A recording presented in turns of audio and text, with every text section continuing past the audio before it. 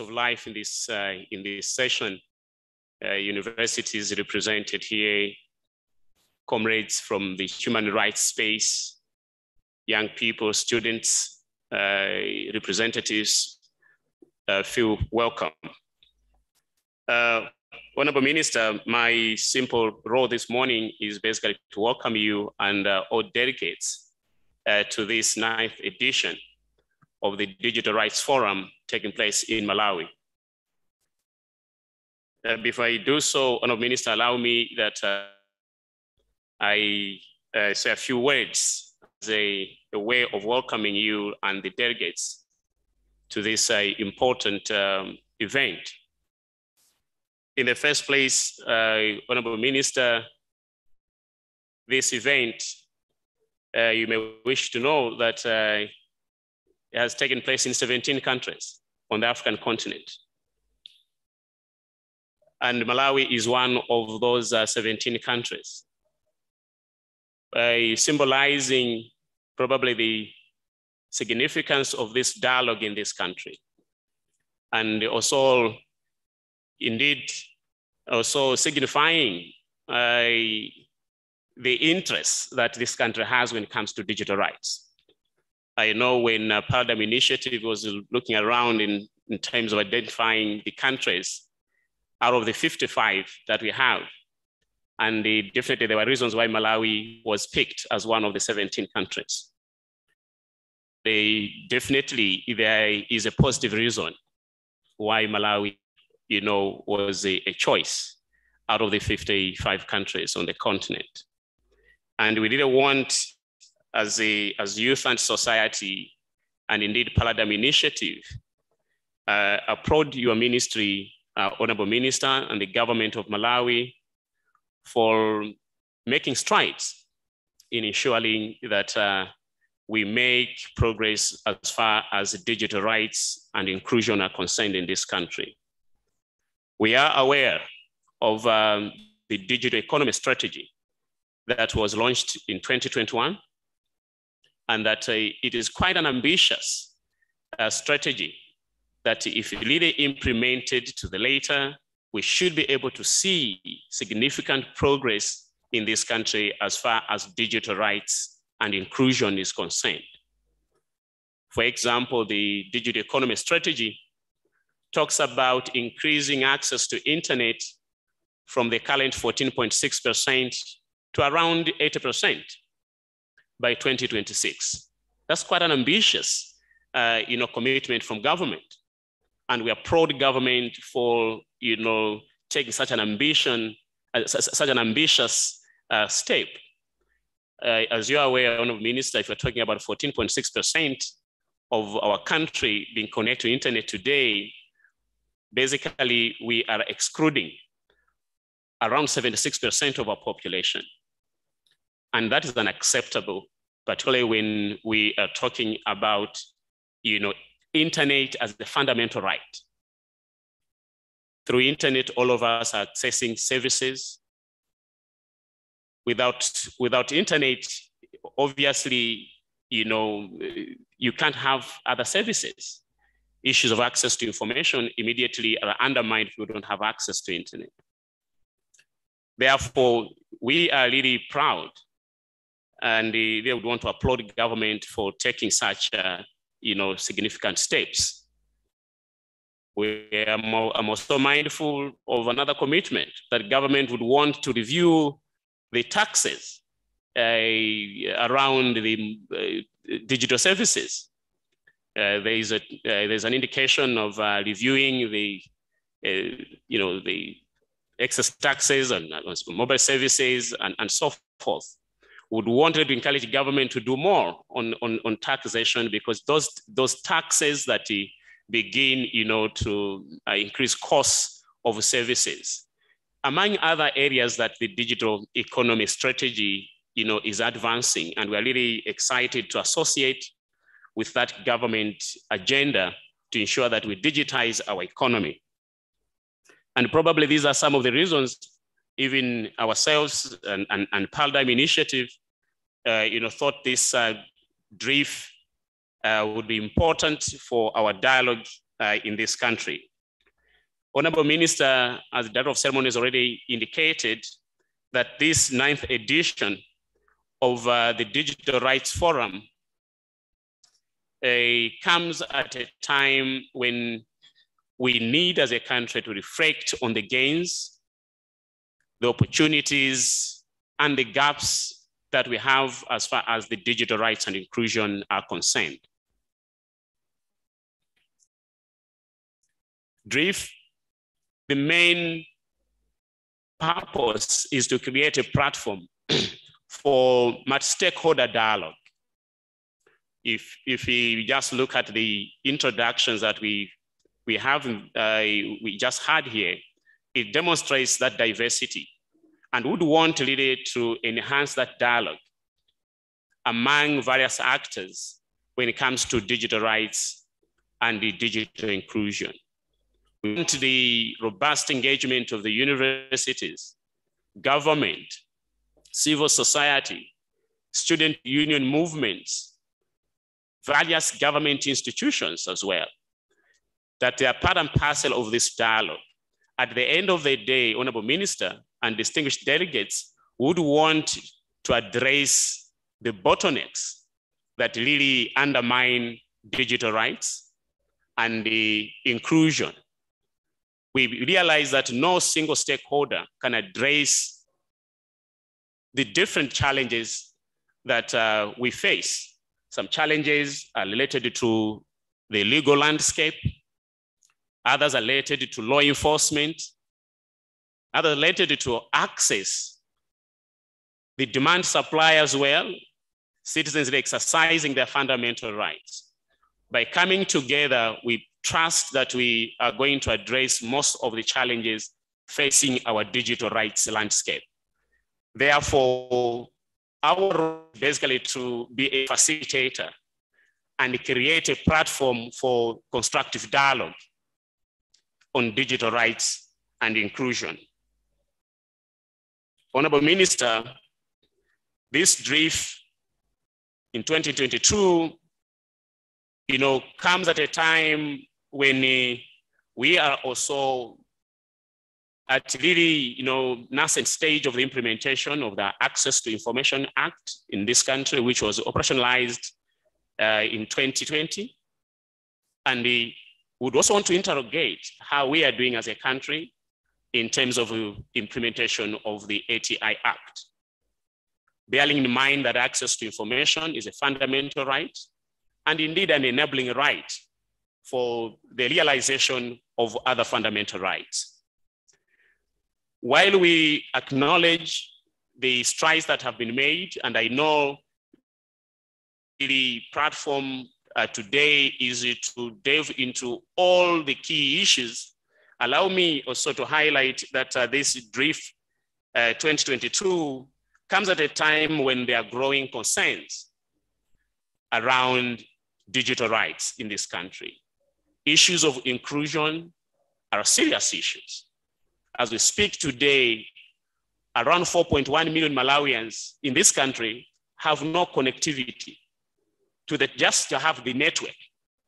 Because if you look at the statistics now, we only have about 71% of the country that is connected, that have access to connectivity. How do we account for the exclusion of 4.1 million Malawians who don't even have an access to a telephone network. These are serious issues that we really need to interrogate. How do we deal with the serious violations taking place online? That uh, women face day in, day out in this country. How are we addressing those, those serious issues? There are issues, Honorable Minister, of state interference with the freedom of expression online. Just for the last 18 months, we have recorded not less than 15 arrests in this country and two convictions for individuals you know, who express themselves online and the state moved on them. Some of them were arrested, uh, kept for some days, released without charges. Some of them were charged. Two were convicted. And one person, honorable minister, as you might recall, who was convicted is a, is a, a man who in his own right and uh, for the love of his friends probably had uh, alerted his colleagues on social media platform Facebook that one of the banks, uh, one of uh, the employees of one of the banks, you know, were duping customers. So for him, that was an alert to a, the public or his colleagues in that, on that platform that people needed to be very careful. They, made, they needed to be monitoring their bank accounts because there were, there were these um, you know, alleged schemes or, or clandestine activities. This is a gentleman uh, that earned himself uh, a conviction.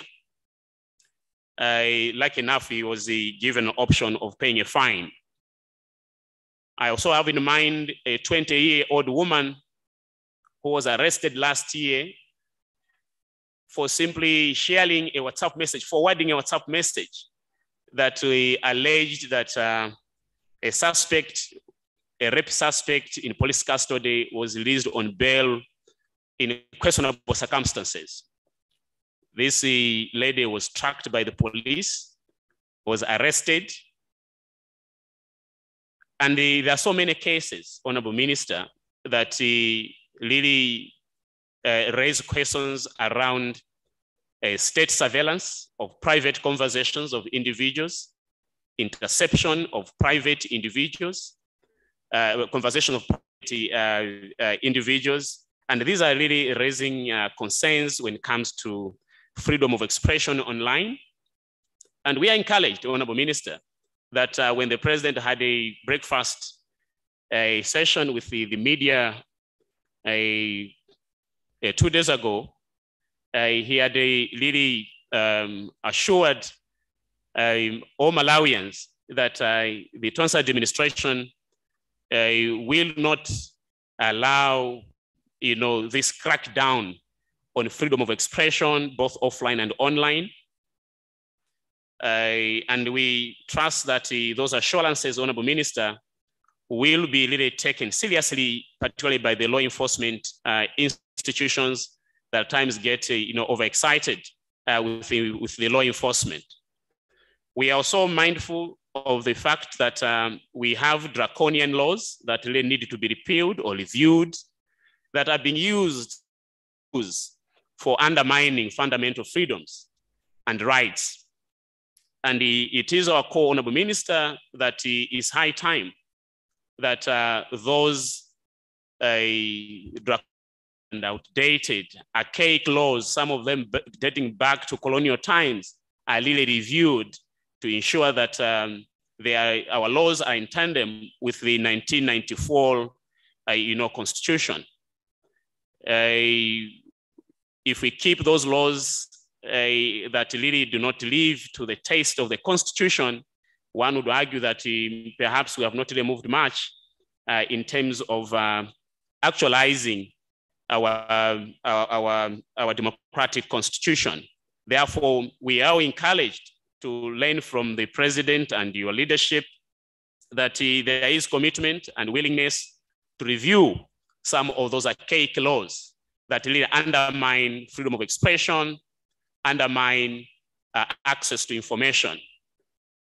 Honorable Minister, as I did indicate, my, my role is basically to, to welcome you to and therefore let me on behalf of youth and society and uh, initiative, the conveners of this platform uh, this morning and indeed afternoon, indeed also highlight that um, there are so many stakeholders around here that have committed to the advancement of digital rights and inclusion. We'd like to acknowledge uh, several institutions that have even mounted the pavilions uh, just uh, uh in this room here. We have MACRA, we have a consortium of Oxfam, DCT, and YAS. We have MHub, uh, we have also Paradigm Initiative. We have Malawi Human Rights Commission. That demonstrates the commitment and the willingness uh, to really advance digital rights and inclusion in this country. We really would want to appreciate and thank you, uh, Pat, for demonstrating this commitment. And let me invite a round of applause for these partners for uh, demonstrating this commitment. Honorable Minister, let me also thank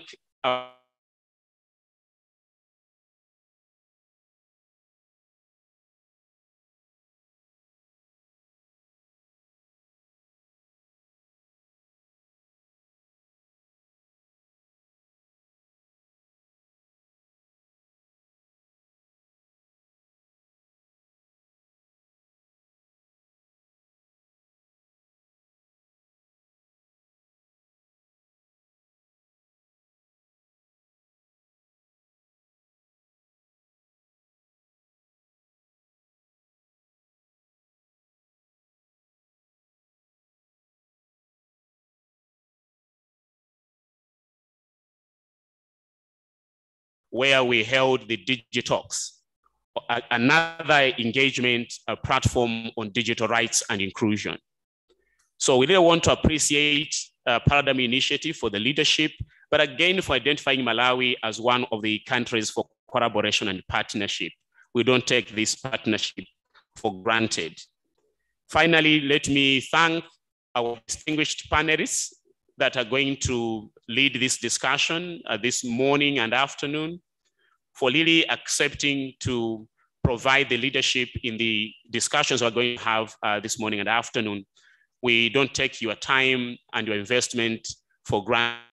Once again, uh, Honorable Minister, uh, let me welcome you and the really feel welcome and let me also thank you for finding time uh, amidst you know tight stages that you have.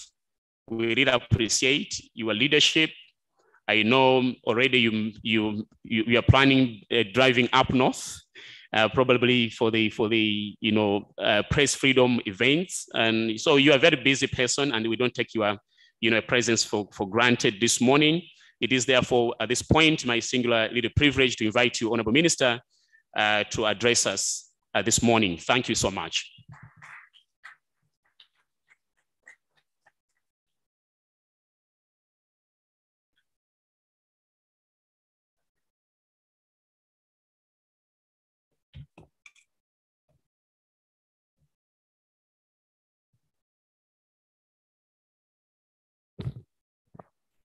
I think they, they need to start making these podiums a little, a little higher now.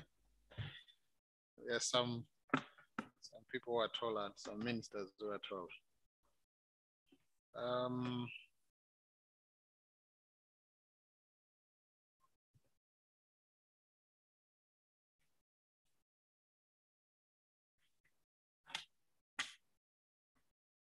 Good, good, good morning, ladies and gentlemen.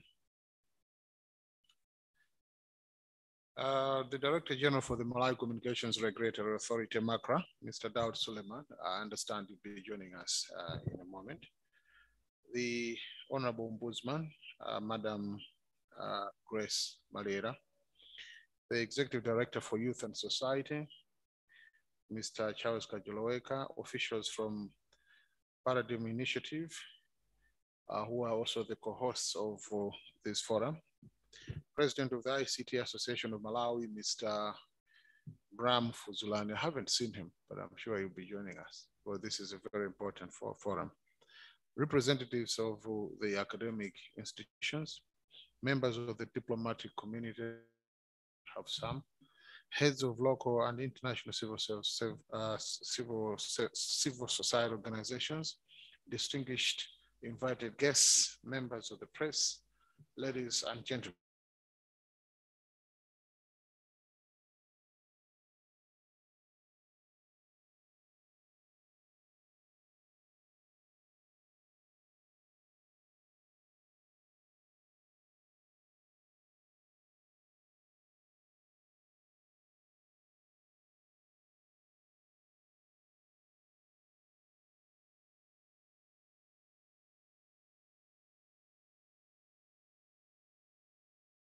To freedom of expression, information, and the communication, privacy, that's number three, and data protection, and four, protection of minors from cyber threats and bullying.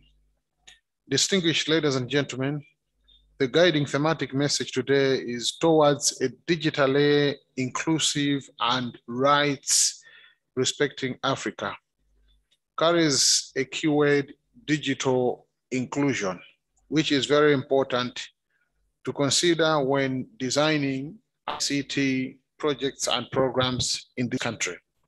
As we gain strides in the ICT sector, there is a need to ensure that there's equal access so that those that are marginalized, including the youth and women, are not left behind.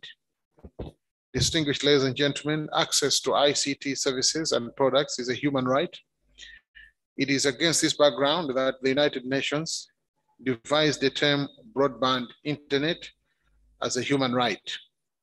Access is therefore no longer simply an option, but an area that needs strategies to ensure that demographic and socioeconomic factors are not a stumbling block towards the enjoyment of the critical right of being online.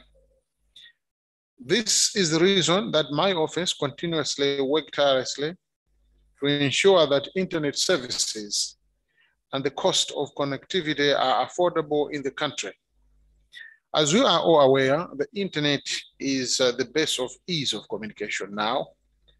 And my ministry has also embarked on projects such as the public free Wi-Fi because digital rights demand the need to address equal and access to the ICT products and services. Distinguished ladies and gentlemen, digital rights demand need to ensure that there is freedom of expression, freedom of information, and freedom of communication. You may recall that uh, during commemoration of the World Press Freedom Day, His Excellency, the State President of the Republic of Malawi,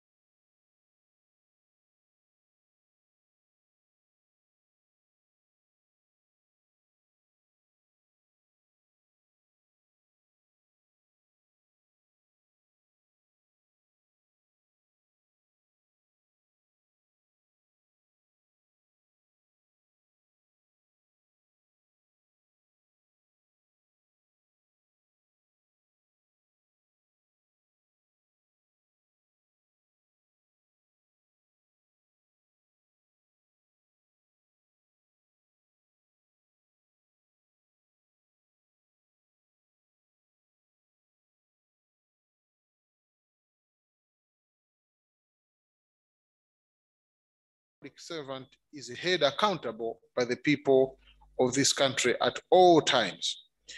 Distinguished ladies and gentlemen, as the use and adoption of ICT increases, vulnerable groups need to be sensitized on the emerging cyber threats. These include the youth, women, minors, and regular users of the internet. My ministry will therefore work with responsible ministries to ensure the systematic implementation of the online child protection strategy. My ministry will also oversee the finalization of the Data Protection Act to guide the manner in which confidential and sensitive data can be protected, managed, and shared. The Digital Skills Ecosystem and Gap Assessment Report for Malawi, the citizenry, is able to use basic, intermediate, and advanced ICT uh, skills, they will enjoy digital rights and inclusion. The usage of ICT services and participation in ICT activities demands foundational skills. And I want to assure you that once again, that my ministry will embark on mass ICT literacy programs that will see that even school dropouts are being exposed to basic ICT uh, tools and, the, and skills or to ensure that no one is left behind. Ladies and gentlemen, allow me to highlight one government's intervention that is aimed at ensuring universal digital rights to every Malawian. As you are already aware, governments through the National Planning Commission has, has uh, formulated the digital economy strategy that seeks to transform the way business operate, how citizens interact, and the way government delivers services. Distinguished ladies and gentlemen, let me encourage you to take an interest in this strategy and ensure that you, uh, you put uh, a lot of interest into it so that uh, much as possible uh, we are moving and moving towards a good direction.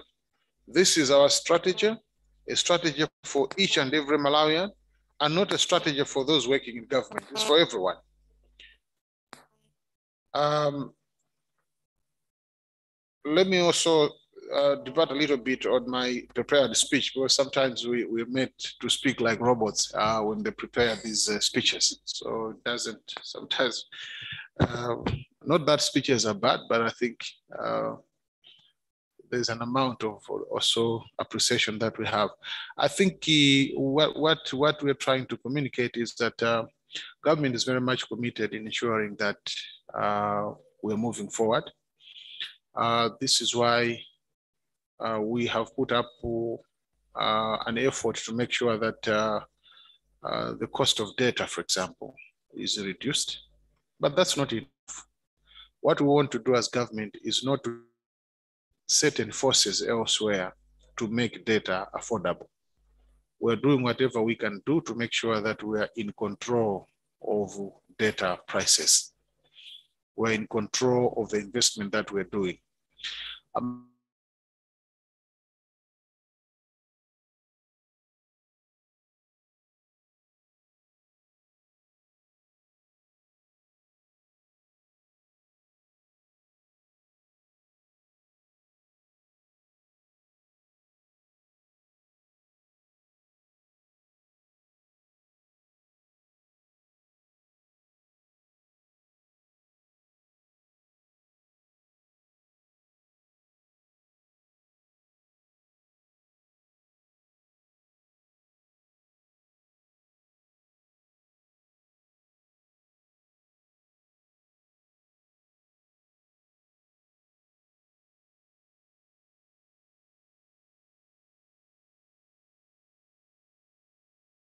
mean, that we can only allow 14% people to, over people to, to access internet. We have less than 380,000 smartphones. That's hugely embarrassing by all standards. 300, in fact, there are uh, 20 million now in Malawi, we believe. To have 380,000 and then we want to think that we are making progress, I think it's not fair. I think that's uh, that's that's uh, belittling the element of fairness. Uh, so we're doing all we can to make sure that one, we have high penetration. Uh, high penetration means better uh, capacity, better connectivity, and the uh, better network. And the government is doing all it can. And my ministry also is leading in ensuring that whatever we are resource is being used very well. It's not a question of rushing to the World Bank, get loans and then abuse them. And then uh, there's this uh, uh, culture of saying, no, we want to spend this money so that we qualify for the next batch of World Bank loans. I think that has killed many African countries because people, especially those that are entrusted with the responsibility to apply for these loans, sometimes, uh, although be interested to get a loan, but a loan is a loan. Right now, as I speak, this country has a lot of loans. Uh, so whatever loan, especially in the uh, uh, area of um, digitalization, ICT and general uh, issues of that matter, I think we are putting a lot of attention to make sure that every kwacha, every dollar is being used and used very well. We are doing that because we understand that uh, future is digital and Malawi was not there during the first industrial revolution. Malawi was absent during the second uh, uh, uh, industrial revolution. It made no appearance during the, the third, and we cannot afford during this fourth one to be absent. Because if we do, then we should actually forget that we have a country. Uh, government is very serious about these things because we also don't want to face a situation like what we are facing now. You know, people are having to pull us by the nose as a government. Those who are, uh, for example, once upon a time, this this this, this country had the, a state-controlled uh, company that was making uh, or manufacturing cooking oil, and we never had problems where people are just raising the price of cooking oils with a nire. Uh, there was wisdom once upon a time that people had to establish SFFRFM and ADMARC to make sure that they procure and distribute and sell fertilizers, good quality fertilizers. Look at what is happening now. That have infiltrated the market. Some will hear that instead of selling fertilizer, they're, they're selling dongo and soil and sand and all that. There are so many things that we need to put in place. Um, I can mention so many other things. Uh, I hope that uh, this will not go into other important uh, sectors. Um, uh, we need to make sure that we are, are taking control of our quality. Now, uh, it would be very, very unfo unfortunate for us as government not to take very much big interest in matters digital. Because all these things that we have mentioned, whether it's the agriculture will be digitalized. That's e-agriculture, e-health, e-commerce, e-banking, uh, e-infrastructure. Everything will be e. And we cannot afford that government must be distant from that e-revolution. Uh, because then I think uh, as time goes by, uh, if we depend very much on the, uh, the private sector that much, um, I can assure you that it will be worse than cooking oil, it will be worse than uh, fertilizers, it will be worse than uh, any other thing that you can uh, think of. So we are seriously looking into this to make sure that we protect the interests of our people. We are making sure that uh, uh, uh, we, we, we, we continue to invest and invest very well. So very shortly, we should be making certain capital announcements in terms of how we want to move forward and whatever we are doing, we're following that strategy. We cannot talk of uh, a digital uh, strategy that is being uh, driven by government, and then we have no no control or no active participation on, on these, these issues. Then I think there's a disconnect. There's a disconnect. So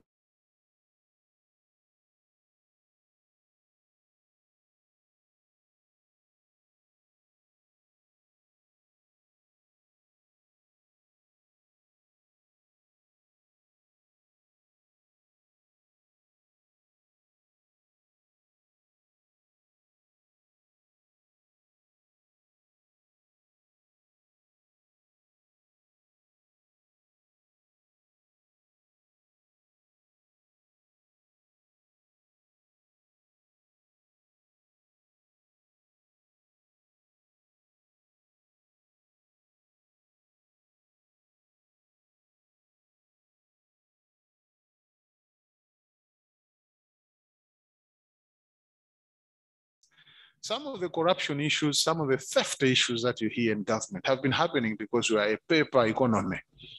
We are a paper economy. Now we want to migrate from being paper economy or paper administration to paperless. So we must go digital.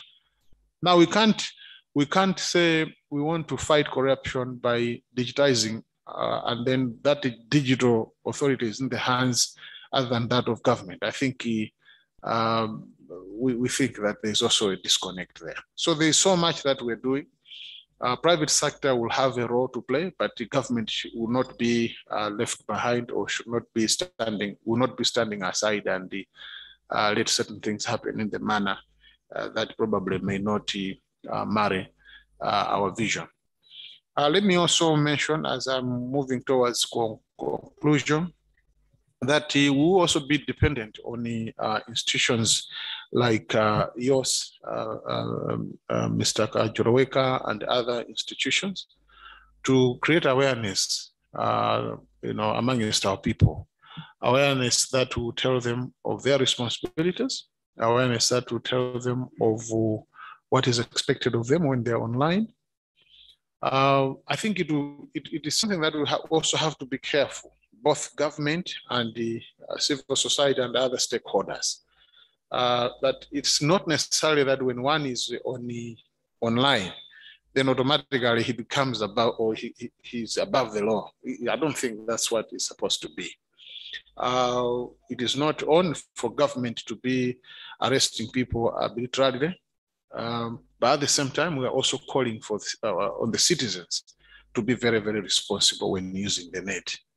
Uh, there's Gobakacha has uh, killed people. There's Gobakacha has made people lose their lives. The, the, there's Gobakacha has made people lose their jobs, lose their marriages. People have lost their credibility.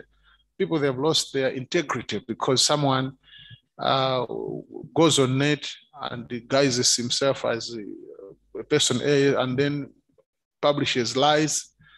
I think we also need to be uh, all of us to make sure we create awareness so that people are using the net uh, very, very um, uh, responsibly and productively.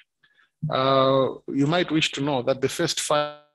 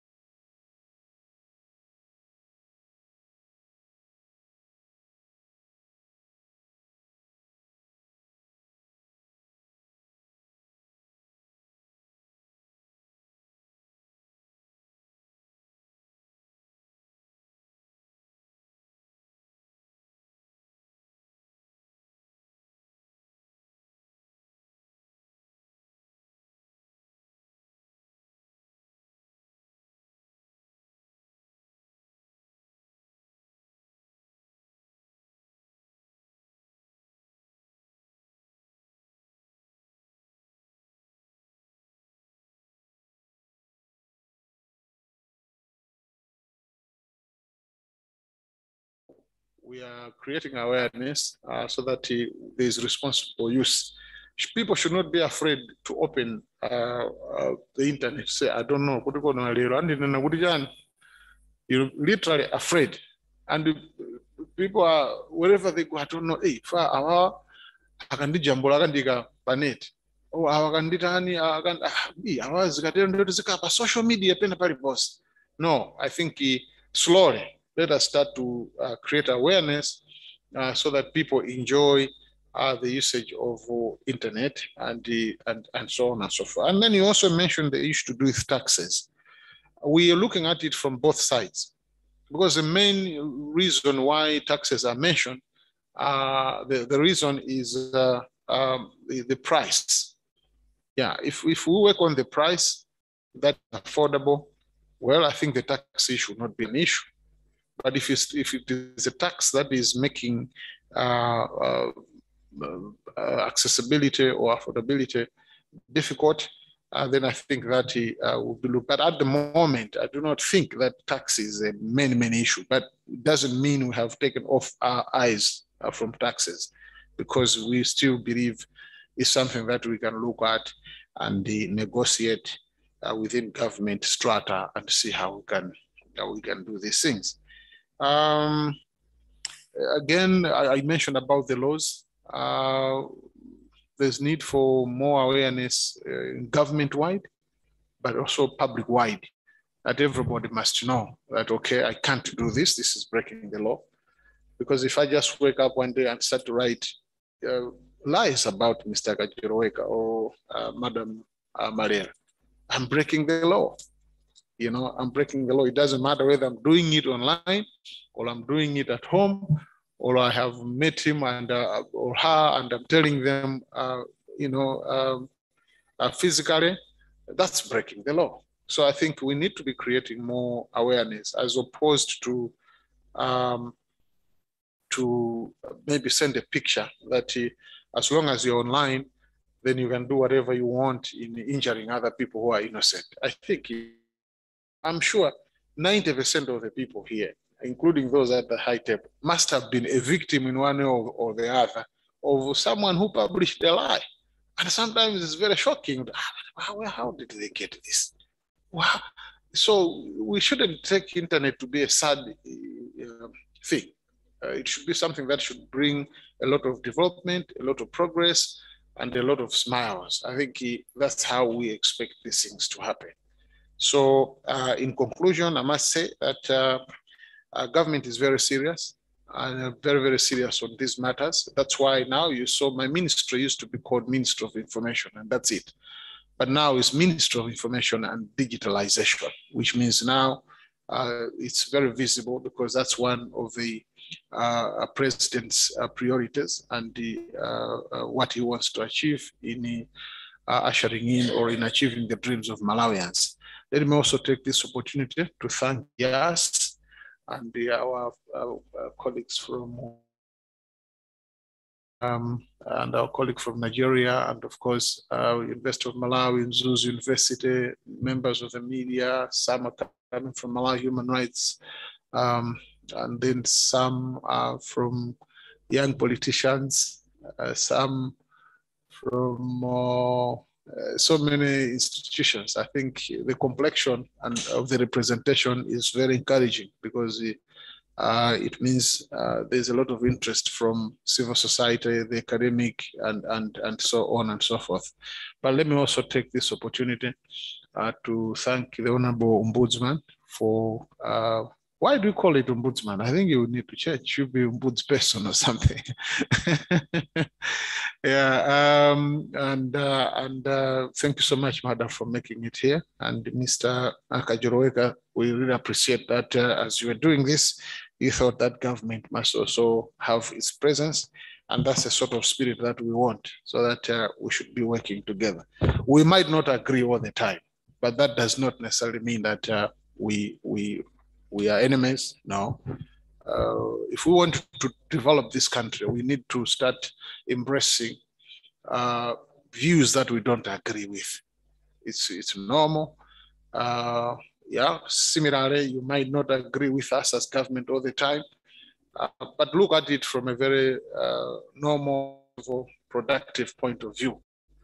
Uh, but we should not also major in disagreeing. At least we should have uh, a certain percentage of disagree, disagreement. That's healthy because then it means you're moving. But largely, let us make sure that whatever we do, we're doing in agreement so that we're able to serve the people that we all represent. Once again, ladies and gentlemen, thank you so much for the opportunity uh, to stand before you and that you can listen. May God bless Malawi and may God bless you all. Thank you.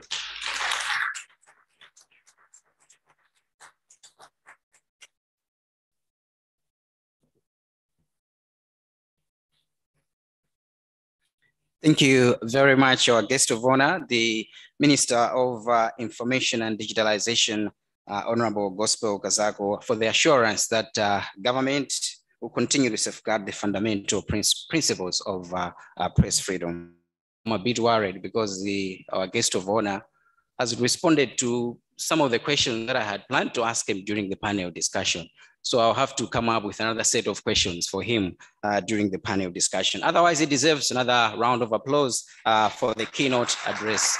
Uh, thank you very much, Mr. Fona. We continue with our program this morning. I would now like to invite Mr. Jimmy Kainja. He is the senior lecturer in media, communication and cultural studies at the University of Malawi, and is going to give us a public lecture on the state of digital rights in Malawi, gains, opportunities, and challenges. A big hand for Mr. Kainja as he comes in front for the public lecture. Thank you very much, August honor.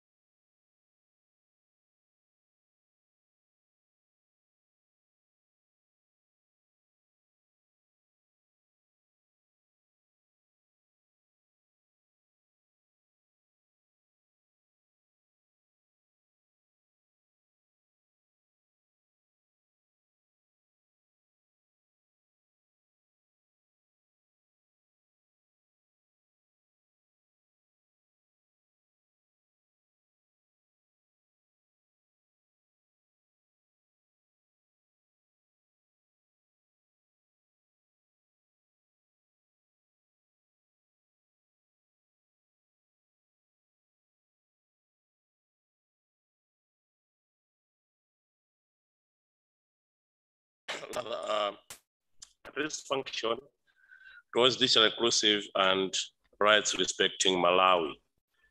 Um, much of what I'm going to discuss here has already been said by the minister as well as by Mr. Kajoloweka, which says to me that uh, perhaps the discussion is more or less like just a reminder uh, to most of us over what these digital rights are.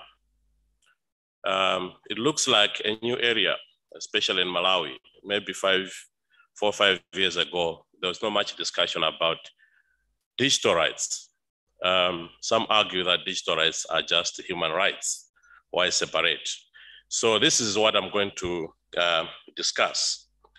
The outline is as follows. We are going to look at uh, what is digital rights, so trying to understand or unpack the term digital rights.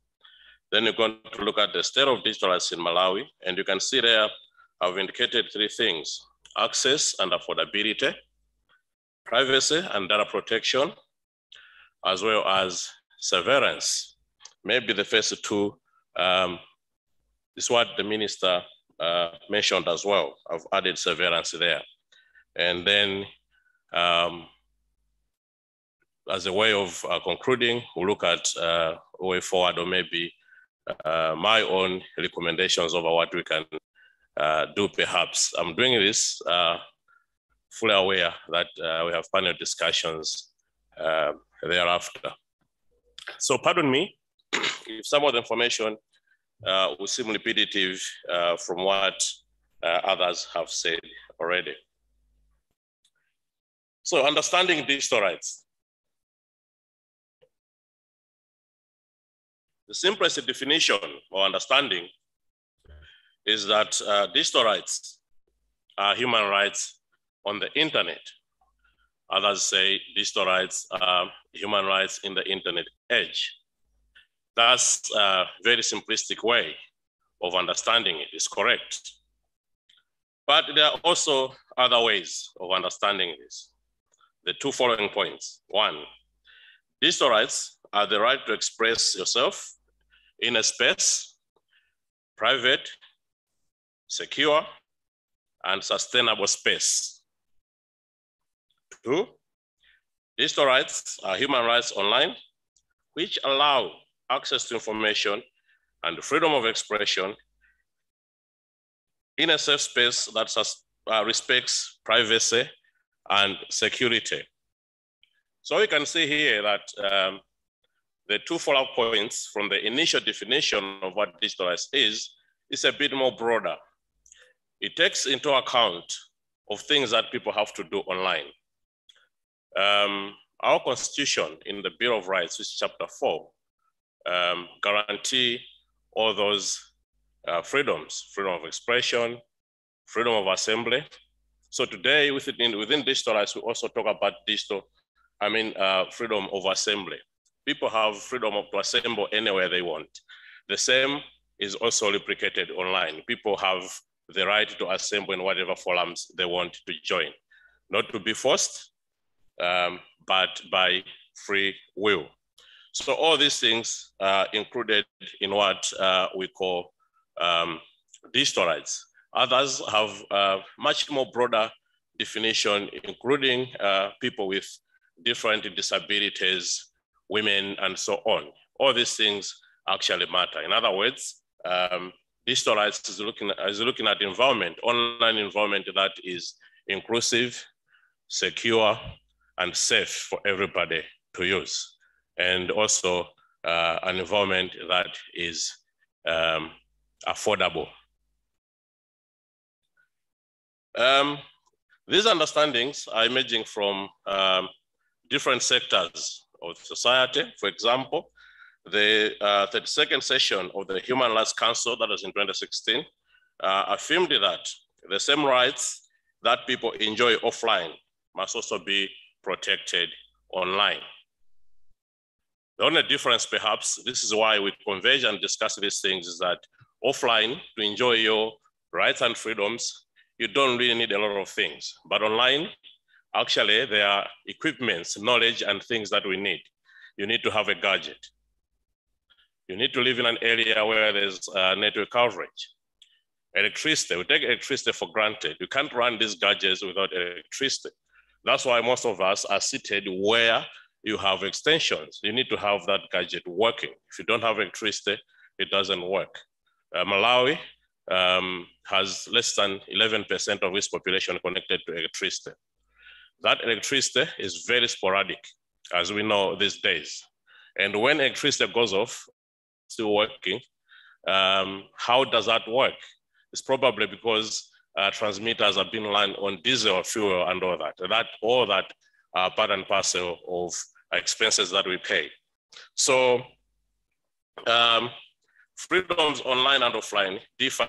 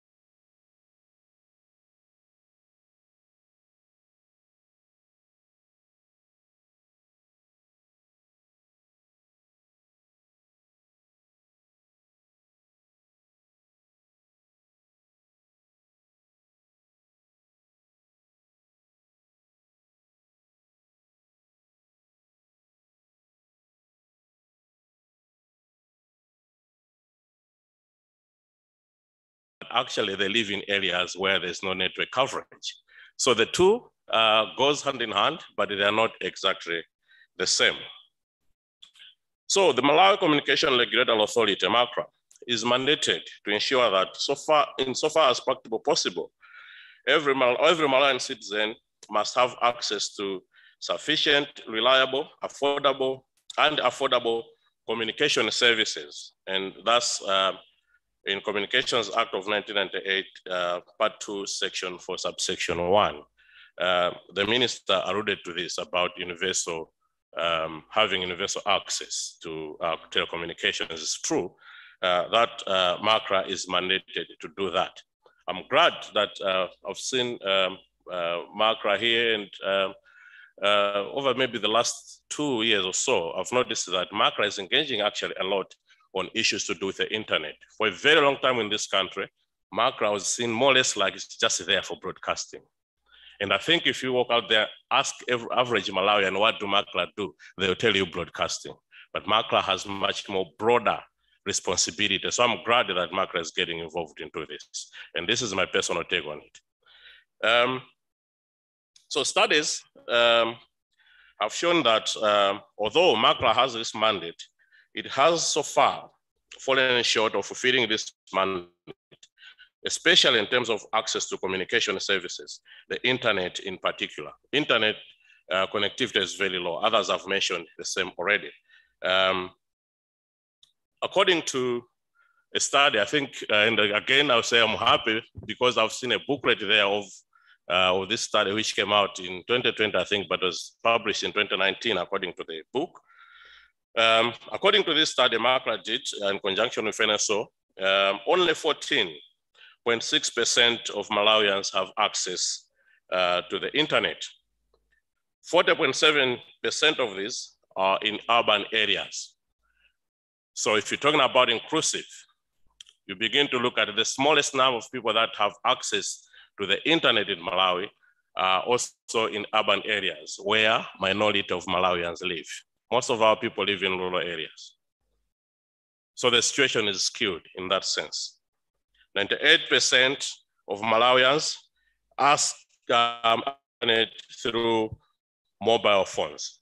So uh, why I've added that is because mobile phone is very, very important in terms of um, connecting people. And as others have said, less than 75% uh, of our country have uh, actually are living in areas where there's uh, network connectivity. Now, um, you see that also I've added there that a significant number of Malawians, according to this study, 46% um, that they don't use the internet because they don't know what the internet is. Um, have a lot, long, long way to go. And you see there, only 2 uh, 0.4% are those of us that were making noise that I must fall and whatnot. Those of us who think internet is very expensive. Um, I do not want to look at 2% as insignificant number. It's very significant, at least because there are people who are demanding services there. But that 46% or the people who do not know what the internet is, then we have a serious problem. Uh, Honorable Minister say you want to embark on um, um, media literacy. I think uh, this is a big, big job. Maybe in the future I need to work in conjunction with um, Minister of Education if it was up to me, I would introduce um, media literacy at the youngest level so people understand how these things work, people understand the importance of it, not just knowing how to use the gadgets, but they need to understand um, ins and outs of the whole thing. So maybe uh, because you are discussing, maybe that will come up uh, some point because this is um, shocking indeed. So it is recognized internationally that uh, people must have access to secure, stable, reliable, and trustworthy internet. Secure, stable, reliable, and trustworthy internet. Um, if I were to ask here, I don't want, but uh, if I were to ask here, by the show of hands, uh, most of us can agree with me that uh, it's very rare that we finish a five minutes, six minutes phone call without a line being cut. Our services are very sporadic and problematic. Network is a problem. And if you look at those points that I'm making and try to do an assessment in Malawi, I don't think it would pass any of that. But that's what is needed. A study in 2019 by GSMA um, found that 72% of Malawians, uh, only 72% of Malawians had uh, network coverage. And that's what Mr. Kajoloweka pointed out um, uh, earlier on. So I'll not dwell much on that. But again, according to Freedom House report, Freedom on the Net of 2021, um, it says that those that have network coverage in Malawi often experience slow, sluggish, and reliable connectivity. So the 14.6% uh, that we're mentioning is there in figure. But if we are trying to look at it in terms of uh, qualitative vary, the problems are there because 14.6% can even deceive us. Um, much of what that 14.6% uh, means are people who can only have certain uh, aspects of uh, the internet. So for example, somebody can only afford a WhatsApp bundle for one week. Somebody can only afford um, Facebook bundle maybe for a day or two.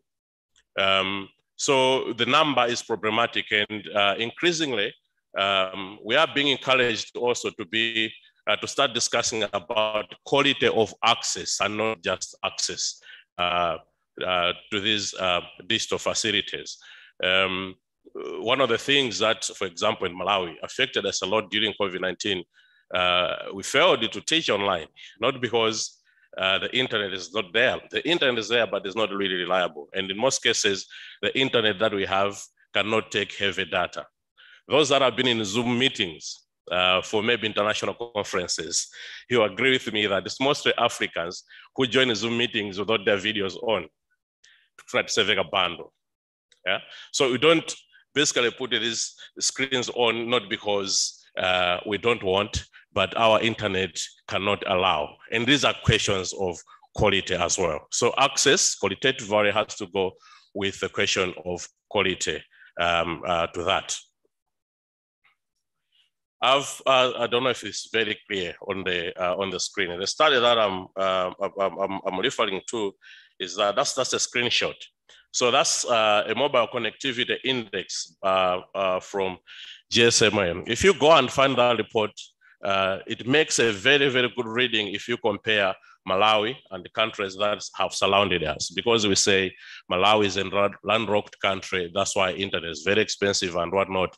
But so is Zambia and so is Botswana. You can go and see um, the differences. Um, the network coverage, uh, you have infrastructure on in yellow, uh, the levels of affordability in, I think, pink. Then blue, you have um, consumer readiness, and then you have uh, content and services and it breaks down within those uh, four. Um, I'm sure there will be another report this. It comes, I think, annually, but this is 20, um, 2019. So I put that up there basically uh, for perspective. You can also look at this. Um, that map shows you uh, a 20 year period of internet in Africa from selected countries. So you see that uh, by the year 2000, every country in Africa had less than 1% internet penetration. By the year 2019, people had moved on. Look at where Malawi is and compare other countries surrounding. We are only better off than Burundi. And I don't know, I'm not very sure population of Burundi, I should have checked the area. So it's a question of a decision. You make a decision whether to get it or not. Others made a decision, others did not. And that's why we find ourselves where we are. Because for a long time, we've treated these um, um, platforms as a luxury, uh, for example.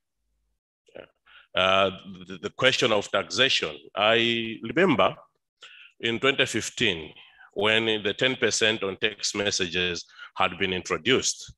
Uh, then um, the Minister of uh, Information then said, oh, going to talk to Minister of Finance, blah, blah, blah. Um, nothing really happened. But that 10%, though, it was a bit contentious when it came in 2015. But it has said now it's normal that uh, that tax is there. It's not as if you are taxing something that is um, something that is um, uh, what um, a luxury.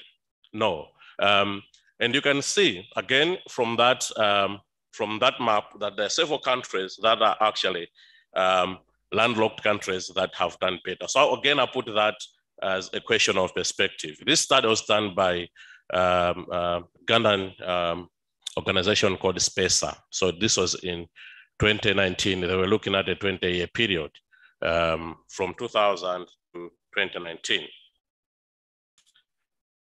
Then away from issues of access and um, affordability, we look at issues of privacy and data protection. The question of privacy is um, a bit more tricky because what I've learned over the years is that some of these terms uh, are very difficult to conceptualize when we think uh, when we think about locally.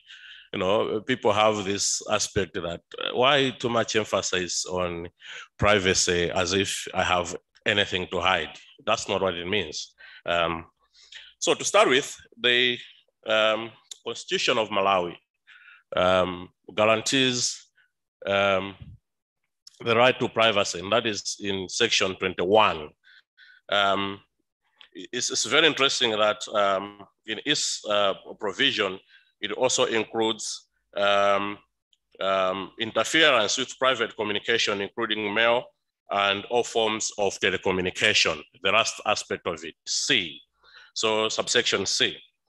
Um, but when you look at uh, this provision in the constitution, you find out that uh, it's not actually uh, enough because in particular, in the digital age, uh, what we need is to have um, digital, uh, data protection um, uh, that is specifically for digital environment.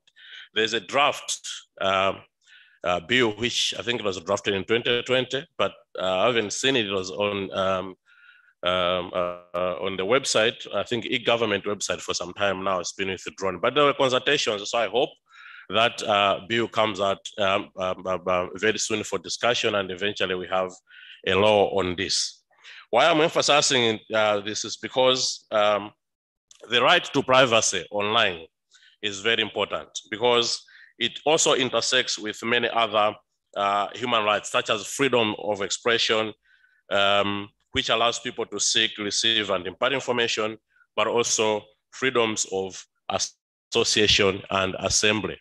The importance of this is that um, when people know that their data can be um, secure, that nobody will interfere with their information, people are actually going to be more open to discuss issues. People are, are going to be more freer to discuss issues online without any fear.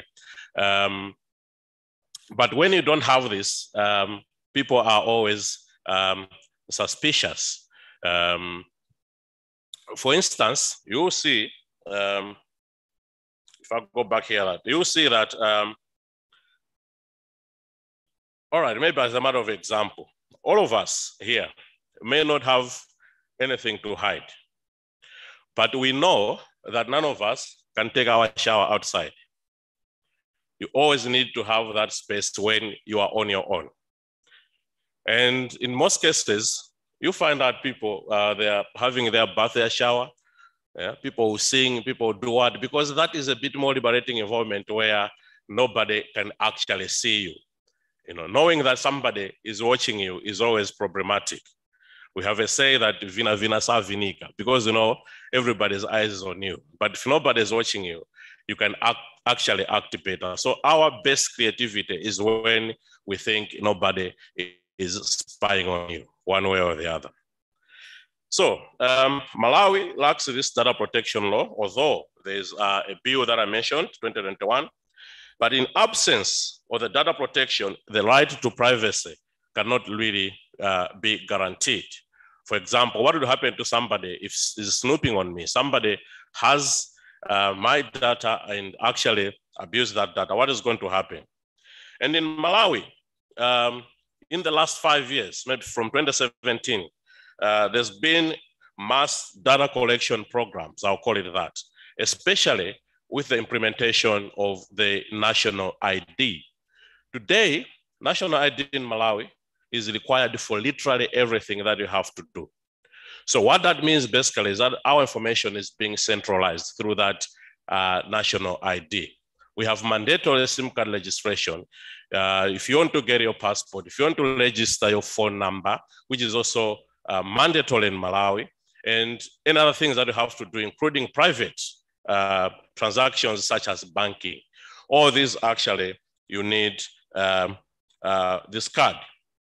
Now, um, you will see, I had this discussion with um, some vendors in Zomba because I wanted to register my card, um, uh, my SIM card, but I didn't realize actually that my national ID had expired. It expired a year or two, I think, after getting it. Again, looks problematic. So I said to this guy, I said, but do you know that actually if you go on MACRA website and see the policy, it will tell you that there is no law that says everybody has to use national ID to register there uh, for numbers in Malawi, unless the laws change. That law is not there, but we are actually being forced to use national ID. Citizens become suspicious. There is no law in Malawi yet uh, that says to register for voting, you really have to use national ID. It's not there yet, but we are being uh, forced. So when it comes to that, uh, citizens become suspicious. And that's what I'm trying to point out there, that um, this massive uh, data collection um, that we have, uh, that we have, you know, people are surrendering their data uh, willingly, it needs to have a law that protects it somehow. So in absence of that uh, data protection, uh, actually, we have the problem of surveillance, um, uh, lack of data protection online, collection of uh, people's information actually paves way uh, for surveillance, state surveillance, I must say. And evidence in Malawi of surveillance is actually emerging, in particular, weaponization of the law. Uh, Mr. Kajoloweka mentioned the number of people that have been enlisted in Malawi uh, between uh, 2021 and today. I must commend that, uh, again, for the first time, uh, we are seeing institutions that are interested in documenting uh, these things. I recall that um, for a long time, I don't know if it's still there, MISA used to have um, a publication called So This is Democracy, it was the title they would document all the abuses of uh, media freedoms within that year. So maybe perhaps if you have something similar to do with the digital rights, people then can be able to see within a 12 year period and say, this is actually what is happening. So for instance, seen uh, this arrest of um, journalist Gondwe, and in his own account, you can go on his Facebook, you will see actually that uh, of Savera,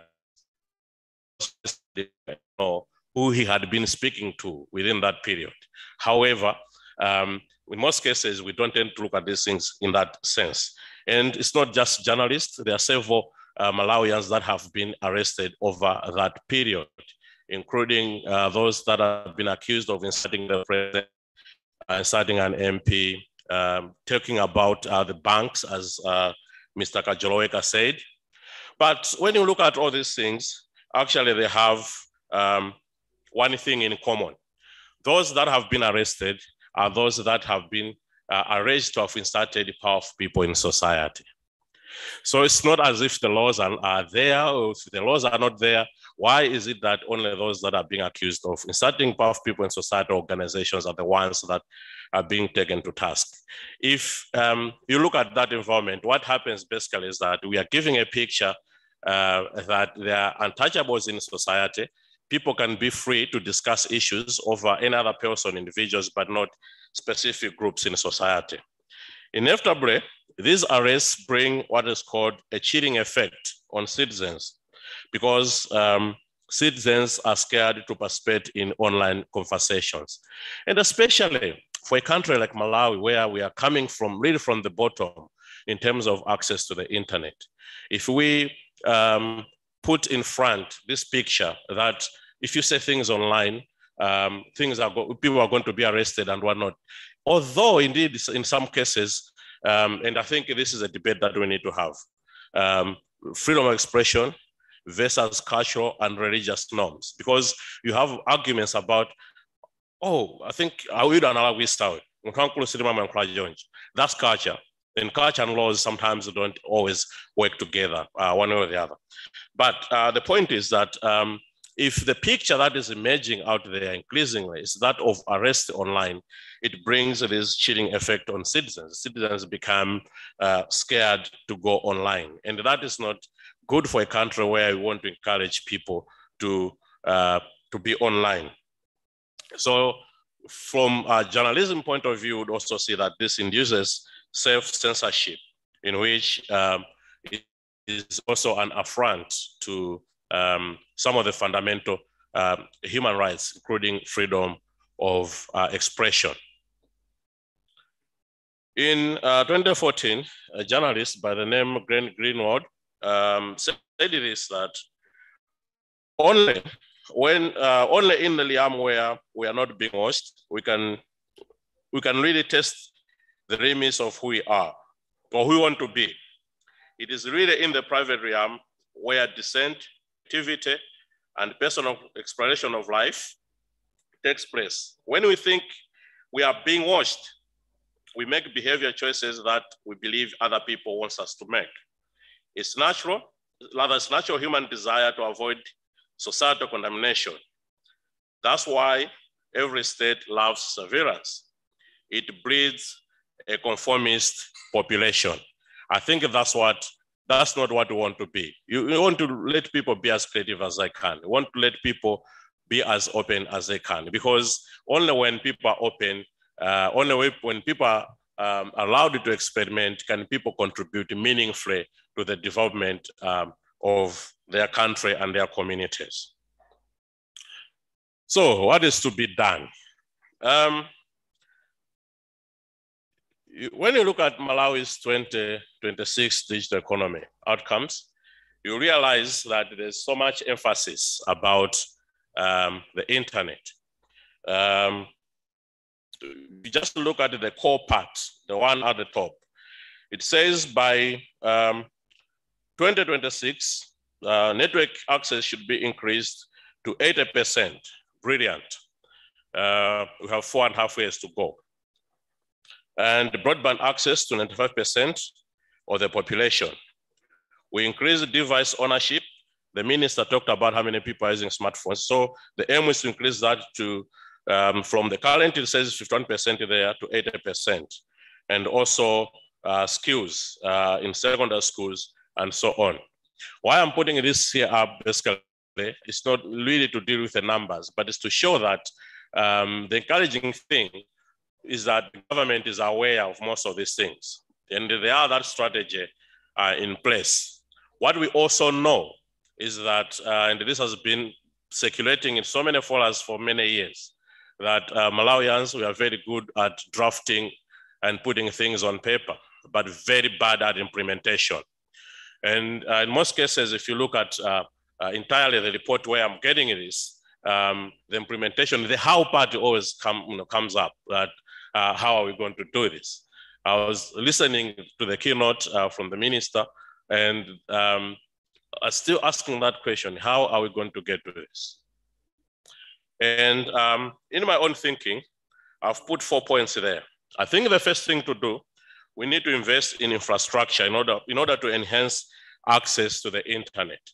Infrastructure in rural areas, infrastructure in urban areas, because where we don't have infrastructure, we need one. Where we have infrastructure, we need infrastructure that is resilient. Two, we need to make internet affordable with respect to net neutrality principles. Um,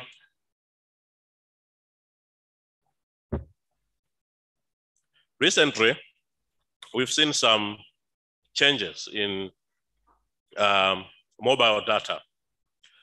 Uh, there's Pansete, there's MoFire, you know, which is more affordable. Um, although, interestingly, I've been looking around for maybe our colleagues at MACRA uh, can help us. I'll ask maybe privately later. I've been looking for any policy document that has enabled these data changes. Surely there should be something in writing because we need to get to the point where we differentiate, are these just promotions or is this really permanent? Something has to be there actually to say this is a policy that we're being follow, we are followed, we're following this policy on ABCD because otherwise mobile companies uh, will have uh, uh, a director today, that director may be not, not be there tomorrow. They'll make a different decision. Likewise, at MACRA um, uh, positions can change. Different people make different um, uh, positions as well. So I've been looking, try and find out what informed these reductions. I think we need to get that right as well. And another thing I've mentioned there with um, respect to net neutrality.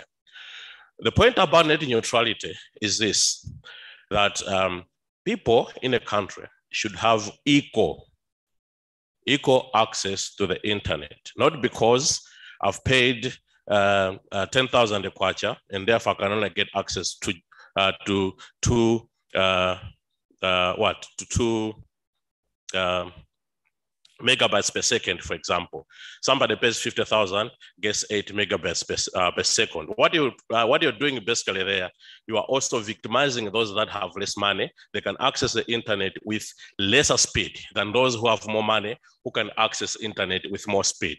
So as these policies are being made, as data bundles are being reduced, we need also to respect the net neutrality principles that regardless of how much somebody earns, they should have equal access to an internet in terms of speed and in terms of quality. Internet should not be tiered uh, based on income. That is also creating other levels of inequality. That's what I mean. So uh, the, uh, this mentioned already that uh, government also need to enact uh, data protection laws so that people uh, should be free and safe when they are online. And finally, and this is, MISA has been you know, drumming up this drama for a long time. We need to repeal all draconian and, dem and democratic laws because what we've done now, we have Communications Act, for example, uh, cybersecurity and um, online transactions, all these laws that have uh, come up uh, tend basically to be um, contradicted by some the um, um, uh, colonial laws, in fact, we have section 60 of the penal code. Somebody gets arrested uh, for their activity on the internet today for a law that was made in 1960 before Tamunda left. That is not, uh, that is not correct. So in other words, um, this is what I wanted to say, but it says um, opportunities. Much of what I've said seems very negative, but that is, that's a picture that we have in Malawi. But I want to say that what is encouraging is that we are now having discussion about these issues. And we're having really important people attending. Uh, the ministers here, the Director General of MACRA is here. Um, uh, we have um, committee members of parliament present. So I think we should take this as an opportunity, all of us, that we should work together. When some of us, when some people stand up and say, oh, can we change this? It's not because um, we don't we were trying to uh, spite somebody or not. No, but we all are citizens of this country. And if you can work together, things are going to work uh, properly. And I would also urge that, as you have seen the presentations that I've made, that digital rights and the internet is actually something that is mad stakeholder. If you ask me about how my computer, how internet technically work, I'll not tell you. I might tell you something about policy. So you need people in ICT, you need people who do policy, you need people who do uh, education, you need people who are in civil society, and you are actually need people who do legal stuff. So if you put people together, actually are going to come uh, to, to, uh, to get a better outcome. Um, I said earlier on, uh, I think we should move over this issue where um, the argument is something has happened, somebody has been arrested, Oh, uh, we accuse the government because you're arresting people, Oh, but people should have um, behaved better one way or the other. I think we need to get over that period and start having a discussion over what we can do to make sure that people are actually online. That's a prerequisite. I'll stop there. Thank you.